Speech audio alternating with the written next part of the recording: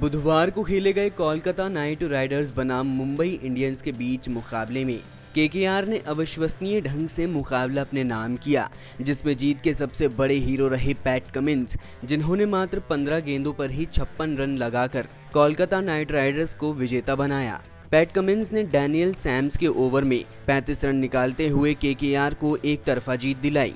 KKR की इस जीत के बाद ना तो मुंबई के कप्तान रोहित शर्मा खुश दिखाई दिए, ना ही मुंबई इंडियंस के फैंस। लेकिन मुंबई इंडियंस के फैंस अब सिर्फ़ मुंबई के हार पर ही नहीं, बल्कि भारत के दिग्गज बल्लेबाज वीरेंद्र सहवाग के एक ट्वीट पर भी भड़क रहे हैं, जो उन्होंने मुंबई की हार के बाद किया। पूर्व भारतीय बल्लेबाज वीरेंद्र सहवाग अपने हाजिर जवाब के लिए जाने जाते हैं। जो सोशल मीडिया पर मीम्स के ज़रिए लोगों का खूब मनोरंजन करते हैं। लेकिन बुधवार को किए गए उनके एक ट्वीट से अब मुंबई इंडियंस के फैंस ने बवाल मचा दिया है। सबसे पहले आपको बता दें कि आखिर उन्होंने क्या ट्वीट किया। सहवाग ने ट्वीट करते हुए लिखा कि, ये जीत ठीक ऐसी ही है जैसे किसी के मुँह से निवाला छीनना। सॉरी, वड़ा पाव छीन लिया गया हो।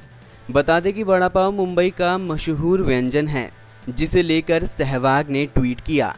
लेकिन अब ये ट्वीट रोहित के फैंस को बिल्कुल भी पसंद नहीं आ रहा है, जिसकी वजह से उनकी खूब आलोचनाएँ भी की जा रही हैं। क्योंकि फैंस का मानना है कि सहवाग के ऐसा करने से उन्होंने मुंबई इंडियंस और रोहित का अपमान किया है।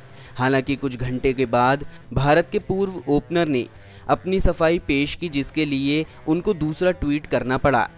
और उन्होंने इस दौरान मुंबई के कप्तान रोहित शर्मा के फैंस को शांत होने के लिए कहा। इतना ही नहीं, बल्कि सहवाग ने खुद को रोहित का फ़ैन बताते हुए मामले को संभालने की कोशिश की, जिसके बाद जाकर मामला शांत हुआ। बाकी की तमाम खबरों के लिए बने रहिए वन इंडिया के साथ।